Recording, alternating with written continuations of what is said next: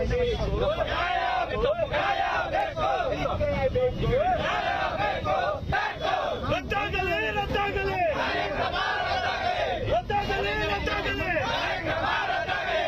Well, it's good news for Sunny Leone fans. She will be coming to Bengaluru this time, and the organizers tell us that they have secured all permission that is from the police and all other agencies for her to perform right inside a hotel that's present inside the Manyata Tech Park premises. So on November 3rd, Sunny Leone will be present over here.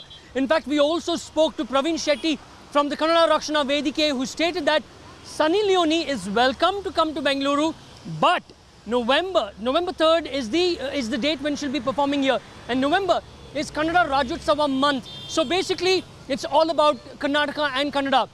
They state that not just in Bengaluru but throughout the state, they'll be holding a lot of uh, cultural activities. So she's welcome to come over here, provided they, there is something to do with Kannada culture.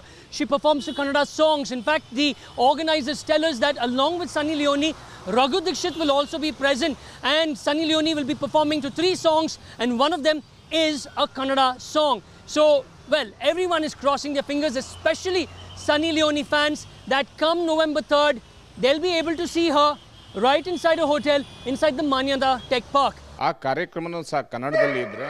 ಖಂಡಿತವಾಗಲೂ ಅವಕಾಶ ಕೊಡ್ತೀವಿ. ಕನ್ನಡದಲ್ಲಿಲ್ಲ ಅಂದರೆ ಮಾನ್ಯ ಗೃಹ ಮಂತ್ರಿಗಳಿಗೆ, police ಅಧಿಕಾರಿಗಳಿಗೆ ಪತ್ರವನ್ನು ಬರೆಯೋದ್ರ ಮುಖಾಂತರ ಕಾರ್ಯಕ್ರಮ ನಿಲ್ಲಿಸುವಂಥ ಕಾರ್ಯಕ್ರಮವನ್ನು ನಾವು ಹಮ್ಮಿಕೊತೀವಿ.